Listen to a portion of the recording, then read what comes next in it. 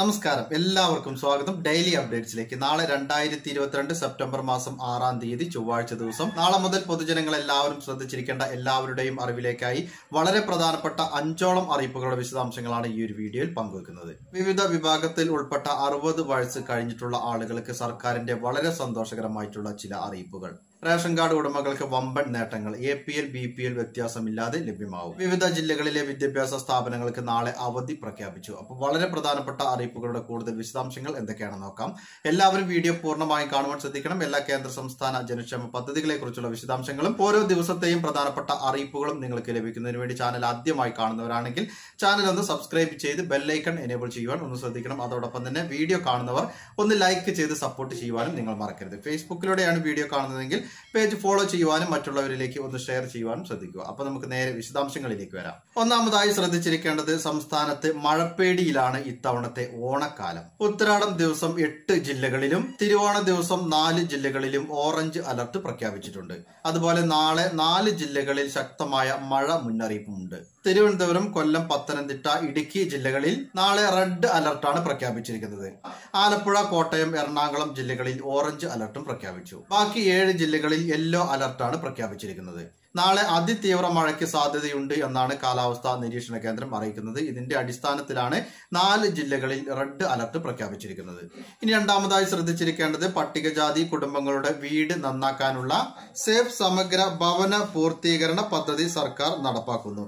ഇതിനുള്ള മാർഗരേഖ പട്ടികജാതി വികസന വകുപ്പ് തയ്യാറാക്കി. വകുപ്പിൽ നിയമിതരാവുന്ന അക്രഡിറ്റഡ് എഞ്ചിനീയർമാരുടെ മേൽനോട്ടത്തിലാണ് സേഫ് നടപ്പാക്കുക. രണ്ടായിരത്തി ഏഴ് ഏപ്രിൽ ഒന്നിന് ശേഷം പൂർത്തീകരിച്ച ഭവനങ്ങൾ പദ്ധതിയിൽ പരിഗണിക്കും.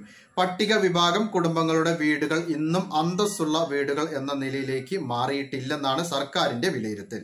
തേക്കാത്ത തറയിടാത്ത വാതിലും ജനലും പ്ലാസ്റ്റിക് മറച്ച വൃത്തിയുള്ള ടോയ്ലറ്റ് ഇല്ലാത്ത വീടുകളായി പലതും അവശേഷിക്കുകയാണ്. ഇത് പരിഹരിച്ച് സുരക്ഷിതമായതും എല്ലാ അടിസ്ഥാന സൗകര്യങ്ങളോട് കൂടിയതുമായ അന്തസ്സാർന്ന വീടെന്ന സ്വപ്നം യാഥാർത്ഥ്യമാക്കുകയാണ് സേഫിന്റെ ലക്ഷ്യം. പദ്ധതിയിൽ ഒരു കുടുംബത്തിന് രണ്ടര ലക്ഷം രൂപ ലഭിക്കും. ഇരുപത് വർഷം വരെ പഴക്കമുള്ളതും അപൂർണവുമായ വീടുകൾ മുൻഗണനാടിസ്ഥാനത്തിൽ പരിഗണിക്കും. വീടിന്റെ ശോച്യാവസ്ഥ കാരണം പലപ്പോഴും സഹപാഠികളെ പോലും വീട്ടിലേക്ക് ക്ഷണിക്കാൻ മടിക്കുന്ന കുട്ടികളുണ്ട്.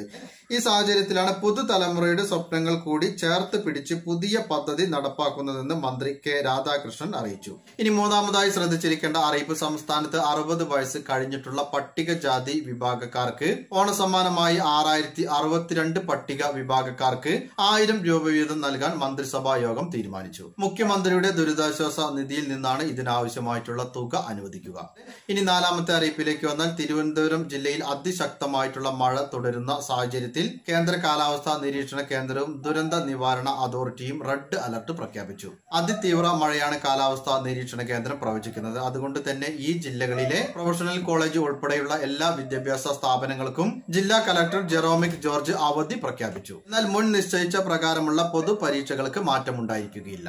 ഇനി അഞ്ചാമതായി പൊതുജനങ്ങൾ ശ്രദ്ധിച്ചിരിക്കേണ്ടത് സംസ്ഥാനത്ത് ഓണത്തോടനുബന്ധിച്ചുള്ള സർക്കാരിന്റെ സൗജന്യ ഭക്ഷ്യക്കിറ്റ് പല റേഷൻ കടകളിലും ലഭ്യമല്ല എന്നുള്ള ആരോപണങ്ങൾ പൊതുജനങ്ങളിൽ നിന്ന് ഉയരുകയാണ്. സർക്കാർ വിതരണം ചെയ്യും എന്ന് പറഞ്ഞിരുന്ന തീയതി ഇവിടെ അവസാനിക്കാറായി. ഇനിയും മുപ്പത് ശതമാനത്തോളം ആളുകൾക്ക് സൗജന്യ ഭക്ഷ്യക്കിറ്റ് നൽകാനുണ്ട് എന്നാണ് ഭക്ഷ്യമന്ത്രി അറിയിക്കുന്നത്. ഓണത്തിന് ശേഷം കിറ്റ് വിതരണം ഇല്ല എന്നുള്ള ഭക്ഷ്യമന്ത്രിയുടെ പ്രഖ്യാപനം ഗുണഭോക്താക്കളെ സംബന്ധിച്ച് ഏറെ ആശങ്കയും ഉണ്ടാക്കുന്നതാണ്. സൗജന്യ ഭക്ഷ്യക്കിറ്റിന് പുറമെ ഓണച്ചന്തകളും സജീവമായി തന്നെ സംസ്ഥാനത്ത് പ്രവർത്തിക്കുന്നുണ്ട്. പൊതുജനങ്ങൾ എല്ലാവരും ശ്രദ്ധിച്ചിരിക്കേണ്ട വളരെ പ്രധാനപ്പെട്ട അഞ്ചോളം അറിയിപ്പുകളുടെ വിശദാംശങ്ങളാണ് പങ്കുവച്ചത്. എല്ലാവർക്കും ഉപകാരപ്രദമായി എന്ന് വിചാരിക്കുന്നു. എല്ലാവരും അഭിപ്രായങ്ങളും നിർദ്ദേശങ്ങളും കമന്റിലൂടെ എഴുതി അറിയിക്കുക. പുതിയ ഒരു വീഡിയോയിൽ നമുക്ക് വീണ്ടും കണ്ടുമുട്ടാം. അതുവരേക്കും അനൂപ് സൈനിങ് ആവും